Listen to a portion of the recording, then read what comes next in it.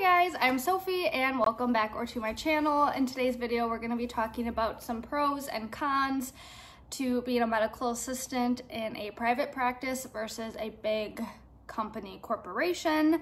A little backstory on me is I was a medical assistant for a very big hospital for about three years and then I was a medical assistant in a smaller private practice for just over two years. So I feel like I have a good understanding of um, both and the benefits and the cons to both. So we'll get right into that. Also, if you're looking to become a medical assistant and not really sure where to start, keep watching because there is a portion dedicated to that in today's video. All right, also we've got a new setup and I think I kind of like it. The lighting's good, so we're rolling with it. Also, I'm drinking out of a coffee, or I'm drinking out of a Christmas mug, and it's October, so mind your business. So to preface this, when I was a medical assistant in a big corporation, I was full-time, and then when I did the private practice, I was only part-time. So there are some like things that differ from being full-time and part-time, but this is just my experience. I would love to hear your experience in the comments if you've worked for a private practice. Um, so we'll just get into it. Um, personally, I'm gonna start with the biggest one because this was important. I made more money in a private practice, um, quite a bit. And that is like obviously a huge pro because when you work for a big corporation, I think they have like ladders you have to climb and you have to pay all the MAs like the certain amount of money and blah, blah, blah. Where a private practice, they can just kind of decide like, this is how much we want to pay you. So I also got more frequent raises being in a private practice. Um, birthday bonuses, Christmas bonuses, things like that, just because it was more personable rather than, you know, when I worked at a big corporation for Christmas, we all got like charcuterie boards with the um, company's logo on it that all ended up in Goodwill. Um, so I got paid more. Um, the a con is working for a small business. There were no benefits. Um, so no health insurance, dental insurance, any of that. About halfway through my time working for a private practice, we did get to contribute to a 401k with a match. The match was a lot more at the big corporation, um, so that you know, you take the good with the bad. You're making more money, but you're not investing as much into your retirement and things like that. So you have to like go on your own and invest into your retirement if that's something you want to do. Working for a big company, I worked in OBGYN, so I saw tons of different types of things, women's health, pregnancy, just annuals. And so I did like all sorts of different things. Where at the private practice, it was very just like there was just like kind of one main thing we did. Um, so like your my scope of work was a lot more over here. Um, so you didn't get as like bored as easily. Obviously, when you're doing the same thing day in and day out, you get very good at it. You get very efficient. So I knew like what to expect every day. Um, and you're only working for like one or two providers, where in a big company you could be floated to anywhere at any time and you just kind of have to go with it. So there's, you know, pros and cons to both. When you're working in a small practice, you're gonna get very close with your coworkers, which for me was a pro. I loved that.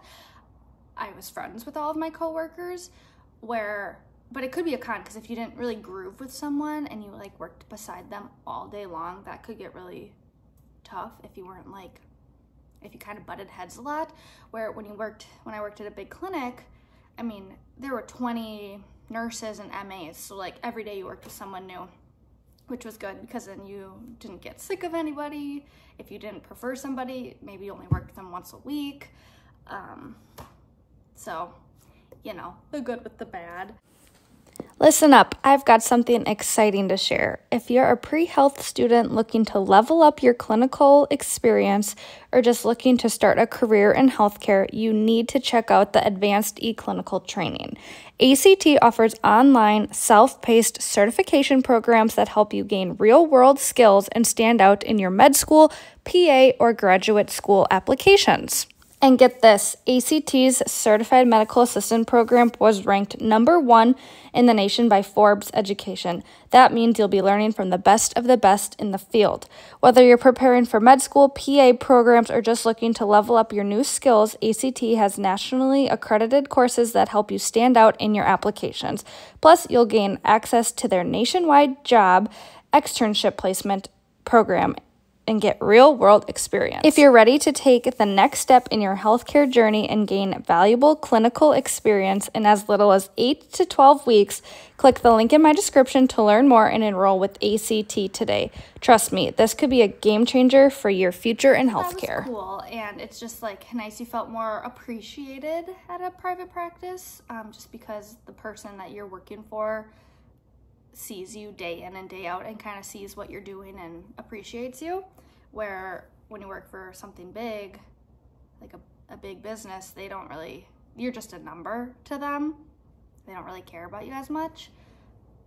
Plus, I had terrible management at the big place I worked, so we had like three different managers in the time I worked there in three years, so no one wanted to manage that clinic. When you work for someone big, they have IT, they have janitors, they have reception. So like if your computer goes out, you just call IT. If someone makes a mess in the hallway, you just call custodians.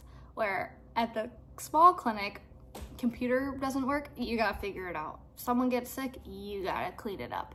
Someone needs to make an appointment, you're making the appointment, you're seeing them for the appointment, and you're making the follow up. Like, you kind of do all sorts of things where when you work somewhere big, you can kind of delegate a little bit. Like, my computer doesn't work. Let me just type in 222 and get on the phone with IT and someone will come up and fix it. So I really liked that because it, it took the stress off of a lot of just like minor things like that. Um, you didn't have to worry about taking the trash out at night. You could just clock out and leave where when you work somewhere small it's kind of like you're it's all hands on deck that's all i wrote down obviously there's going to be a lot more job opportunities for big corporations, big clinics, big hospitals. Private practices are harder to come across and they're not as, you know, and they don't need as many employees. So if you had the opportunity to work for a small business, um, I would try it out if you're not opposed and see. I mean, I liked both and I disliked both for multiple reasons. And I mean, at the end of the day, a job is a job and there's going to be things you just don't like about it.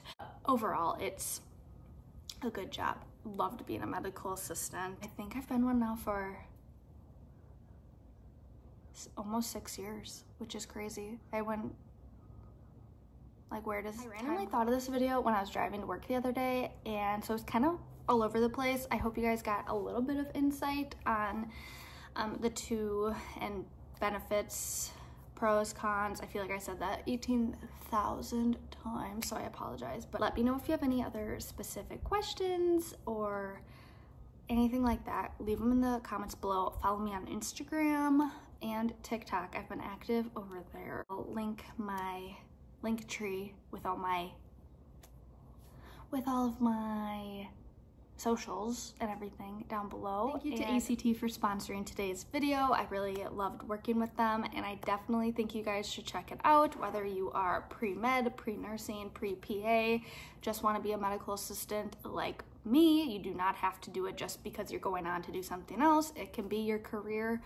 Um, they also have different programs, not just medical assisting. If you want to check those out, there's a description, a link in the description. And hope you guys all have a great day, and we'll talk in the next one. Bye.